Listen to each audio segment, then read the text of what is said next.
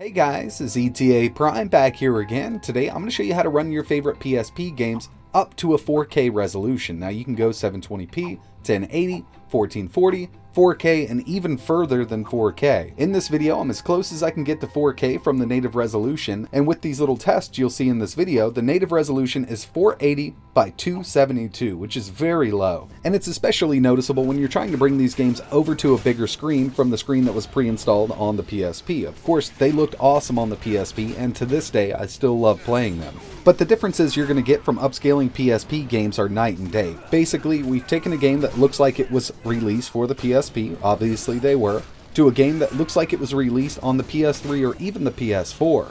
So in this video, I'm going to walk you through the installation of PPSSPP, that's the emulator we're going to be using. And by the way, this does work on Mac, Windows, Linux, and Android. So if you're using any of those operating systems, you can follow along with this tutorial. But for my use case, I'm going to be using a Windows 10 PC. Now obviously not everybody's going to be using a 4K display, so it's kind of a moot point to go to 4K if you're just using a 1080p display but even upscaling from the native resolution of 480 by 272 up to 720 makes a huge difference with these PSP games. So if you're interested in playing your favorite PSP games at a higher resolution, let's go ahead and get started. This is a really simple tutorial. I'm going to show you how to download the emulator, get your controller set up, and then I'm going to show you all the settings that I use to play my PSP games in an HD resolution. Okay, so let's go ahead and get this set up. Like I mentioned, this works for Linux, Mac, Windows, and Android. I'm on a Windows 10 PC, but if you're on Linux or Mac, you can kind of follow along at least with the settings. Getting it installed will be a bit different, but it shouldn't be too hard. Before we get started, there are a few things that you're going to need. Obviously, you'll need some PSP games. I can't tell you where to get them, just do a quick Google search. There are mainly two file types when it comes to PSP games. CSO, which is a compressed ISO, it just makes it a bit smaller and easier to maintain on a PSP, and ISO, which I have right here, otherwise known as a disk image file. Most of the time you're going to come across the ISO files, but as you can see I have a lot of CSO files. They're basically the same thing, CSO is just going to be a bit smaller. Next thing you'll need is a controller. You can use your keyboard if you want, but I would recommend using some type of controller that's compatible with Windows, Linux, or Mac. You can use a PS3 controller, PS4, Xbox 360, or even an Xbox One controller. The Xbox One controller connected over Bluetooth is my go-to, and that's what I'm going to be using for this video here. So let's get this set up. Super simple to do. All links for everything mentioned in this video will be in the description. We're going to open up a browser, and we're going to download PPSSPP. From here, we'll just go to Downloads. And if you're doing it on Android, just go to the Google Play Store. We have the Windows version, iOS, and you can install this from Terminal with Mac. We're going with the Windows version. As of making this video, it's 1.93. This will be updated in the future. Just grab the latest release. It's going to download as a zip file. If you don't have any extraction software installed on your PC, you can download WinRAR. Link for this will be in the description. I already have mine installed. We're just going to download it. Very easy to install. And that's it. WinRAR is now installed on your PC. So I'm going to go ahead and grab the PSP zip that we downloaded, place it on my desktop for easy access. I'm going to right click and extract. I'm just going to extract to its own folder.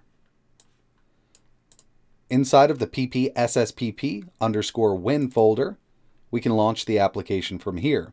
I'm on a 64-bit computer, so I'm going to be using the Windows 64 version. But before I do this, I always create a shortcut. Right-click, create shortcut, and I place it on my desktop. We're going to launch the application. Just double-click, and you'll notice it's in window mode. We do want to go full screen with this, so we'll go to Game Settings, full screen, or you can press Alt Return F11. We're now in full screen mode. So before we mess around with any settings at all, we want to see our games on the main menu. So I'm going to navigate to where I have my games located. They're on my desktop, my C drive, users, my user 1, yours will be different, desktop, PSP. This is where I have my games. So as soon as we choose that folder, you'll see that all of my games have populated with images. Very easy to know which game I want to play.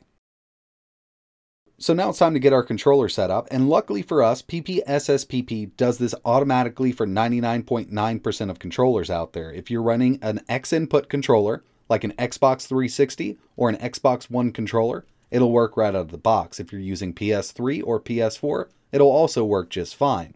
But just in case your controller is not recognized, you can go to Settings, Controls, Controller Mapping. And from here, you can map your controller. And one thing that I always do with all of my controllers is map a fast forward button. And I do this because I don't want to sit through some of the menus. So from here, speed toggle, mine's already set up for my right thumbstick. If I press in my R3 button, it'll automatically start fast forwarding the game. If I press it again, it'll stop the fast forward. So I don't need to do anything, but if you want to set up a speed toggle, you can come right here and set it up. So just click on it. I set it to the same button my right thumbstick. And there are a few other hotkeys you can kind of go through here and just find out what you'll need and map it to a specific button on your controller. It's really easy to do. So we'll back up and our controller is now set up. We can actually navigate this menu here with our controller. We don't need a mouse and a keyboard to start playing our games or mess around with the settings. So now it's time to mess around with our settings to make our games look better or perform better if they're lagging like it sits right now. So we can head over to settings. You can do this with your controller, but I'm going to be using my mouse. We'll go to settings. So from within settings, the back end is very important. If you're on a lower end machine, I would recommend using DirectX 11. Direct 3D 11, Direct 3D 9 is DirectX 9, and Vulkan. You can test all three of these out. If you're on a decently powered machine, OpenGL is going to be your best bet. Now, PSP doesn't take a lot to run, and there's really no set configuration to get these games running at full speed. But just note that these settings here can be changed at any time, and if you're on a lower end machine, I would definitely recommend DirectX 9 or DirectX 11. For this machine here, this is a 6th gen i5 with a RX 580. I'm going to go with OpenGL. This isn't a top of the line machine, but it does a pretty good job. We'll go back to settings. Frame skipping is something that could be utilized on very low end machines to get these games to at least run at an acceptable frame rate. Personally, I'm not a big fan of it, and if I can avoid it, I do it at all cost. Basically, if you've tried everything else to get a game to run at full speed and it just won't on your computer, try frame skipping. If you've changed the backend to DirectX 9, if you've gone with the rendering resolution of 1 and you just can't get that game to run at full speed, try frame skipping. Start with 1 and work your way up. Most of the time, 1 to 2 is going to work with most machines. So from frame rate control, we're not going to mess with any of this. Next up, we have a post-processing shader, something I usually don't do, but this could come in handy if you just want to get a different look for your game. You can add some aliasing, grayscale, bloom, sharpen. I don't usually mess around with this. I kind of like the natural look of the PSP games with an upscale. Full screen should already be enabled because we enabled it at the beginning of the video. Rendering resolution. Now this is probably the most important part of the settings for PPSSPP. And this is also the part that's going to make our games look amazing. So on this machine here, I can go all the way up to 8x with no trouble at all. This will bring my resolution to 3840 by 2176, really close to 4K. If we're going to 1x on the PSP, the resolution will be at the stock resolution of 480 by 272. And this really stresses out your GPU and CPU. So like I mentioned, if you want to get that 4K look, Try with 8. If you just can't handle it, go on down with it. You'll notice a big difference just going to 2 from 1.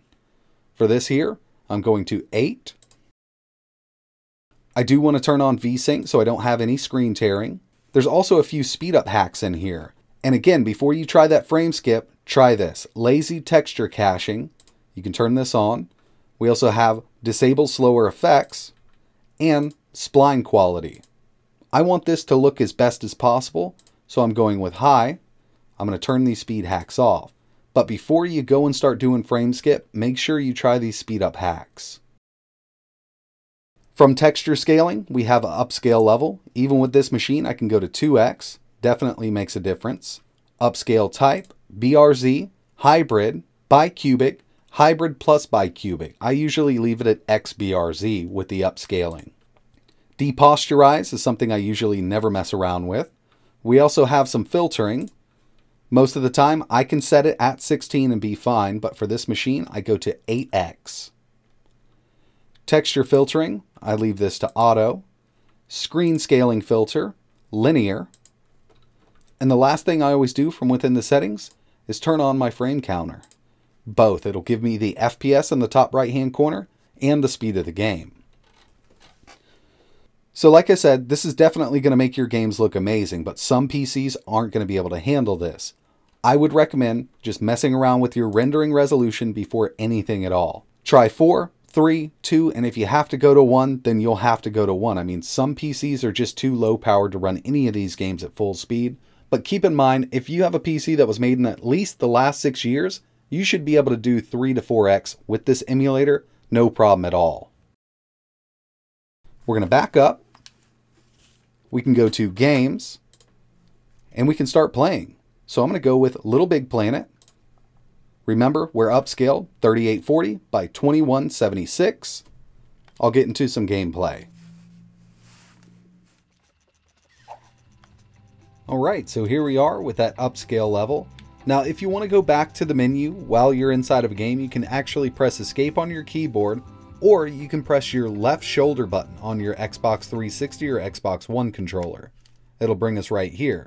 That way, we can save and load. I already have a load state here. If I want to save, I'll just choose Save State. I'll move up a bit. I'll come back, and I can load it from here. So I'm loaded right back in.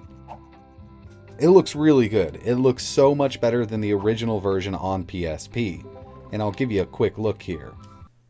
I'll back up, settings, and I'm just going to turn this back to 1. You'll notice a big difference. It definitely brings these games alive and makes them totally different. We'll go back up.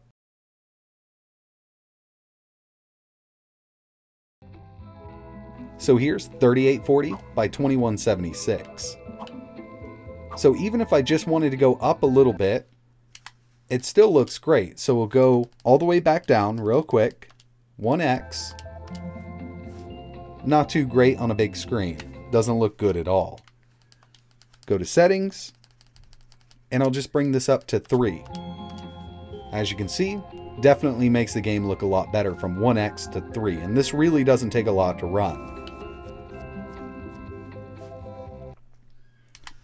Make sure you save your game before you exit, but we can go to exit a menu, and we can try something different. So I'll just start up Tekken 6. Now if I press that speed button, it's going to jump that speed up. Up at the top, instead of running at 100%, we're running at 1000% speed now. This will just get you through the menus super quick. Sometimes you overshoot a little bit, but I think it's worth having on because there's some games that just take a long time to get into gameplay. So I just got into a little bit of gameplay and I set the resolution back to 1x just to give you a look. We're at the stock resolution of the PSP screen. Back up, go to settings, rendering resolution, and I'll just go back up to 8. That's what this can handle.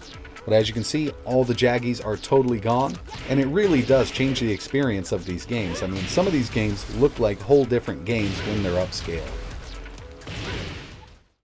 So yeah, that's pretty much it for this video. I really appreciate you watching. I know this was a bit long for a PSP video, but I did want to cover as much as I could. I've had a lot of people asking about this emulator, and recently I've been doing a lot of emulation videos, so I figured I'd go ahead and knock this out. All links for everything mentioned in this video will be in the description, and if you have any questions, let me know in the comments below. But like always, thanks for watching.